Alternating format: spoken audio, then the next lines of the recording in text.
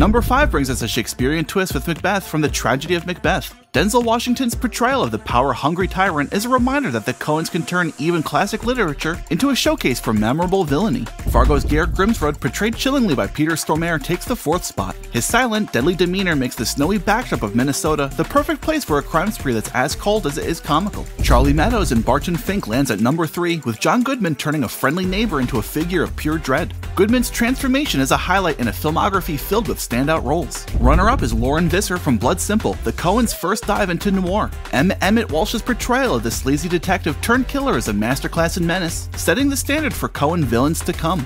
And topping our list is Anton Chigurh from No Country for Old Men. Javier Bardem's Oscar winning performance as the relentless hitman is the epitome of evil in the Coen universe. With his terrifying calm and unique weapon of choice, Chigurh is not just a villain, he's a force of nature, making him the undisputed champion of Coen villainy.